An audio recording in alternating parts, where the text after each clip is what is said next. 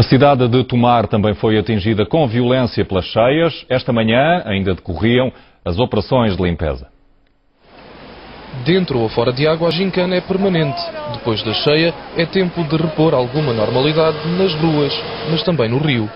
Agora isto é mudar uma limpadora porque a água estava muito porca. Porque já há muitos anos, já há uns 3 ou 4 anos não havia cheia nenhuma.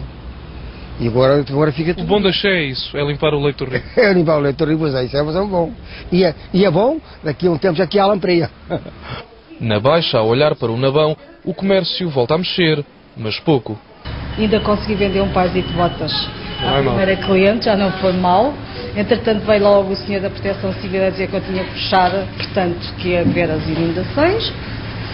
Entretanto, tive que precaver os meus. Para hoje não há, não há nenhum alerta. Ah, espero bem que não, já chegou ontem. E o prejuízo que tivemos ontem. No mercado, só por si o negócio já está mau, com água ainda piora. Mesmo na banca, o traje tem de ser a rigor. E a todo o tempo também não ajuda nada, não é? Mas bem, Já vendeu muita coisa hoje de manhã? há uma coisita pouco. Se fosse bom, eu já tinha tudo vendido, não é?